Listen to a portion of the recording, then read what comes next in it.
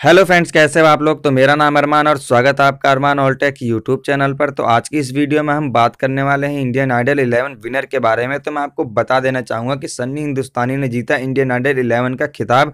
इस बार के जो चैंपियन रहे हमारे सन्नी हिंदुस्तानी रहे तो मैं आपको बता देना चाहूँगा कि जैसा कि आपको पता है कि इंडियन आइडल इलेवन का फिनाले धूमधाम से मनाया गया। संगीत के इस महासंग्राम में सुरों के महारथियों के बीच कड़ी मुकाबला देखने को मिला। इंडियन आइडल के इस सीज़न में लंबा सफ़र तय करने वाले वाले कलाकारों का सपोर्ट करने के लिए इस बार उनके पेरेंट्स भी आए हुए थे।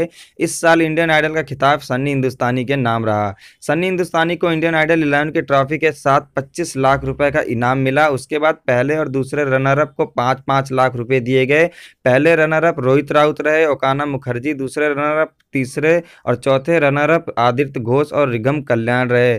ग्रैंड फिनाले में कंटेस्टेंट ने पूरी जोश के साथ अपनी परफॉर्मेंस किया इंडियन आइडल के टॉप फाइव कंटेस्टेंट की बात करें तो इसमें भटिंडा के सन्नी हिंदुस्तानी जो है चैंपियन रहे हैं। इस बार के विनर वही हैं, सन्नी हिंदुस्तानी और लातूर के रोहित राउत, अमृत के रिगम कल्याण, कोलकाता के आद्रिज घोष और ओकाना मुखर्जी जगह बना पाने में कामयाब रहे। बंगाल की ओकाना को खास तौर पर दर्शकों का प्यार मिला। वे वाइल्ड कार्ड एंट्री के ज़रिए शो में दाखिल हुए थे। तो मैं आपको बता देना चाहूँगा कि इस बार के जो चैंपियन है, वो हमारे सन्नी हिंदुस्तानी रहे और उन्हें इस बार 25 लाख रुपए का इनाम दिया गया और इस बार के चैंपियन घोषित किए गए।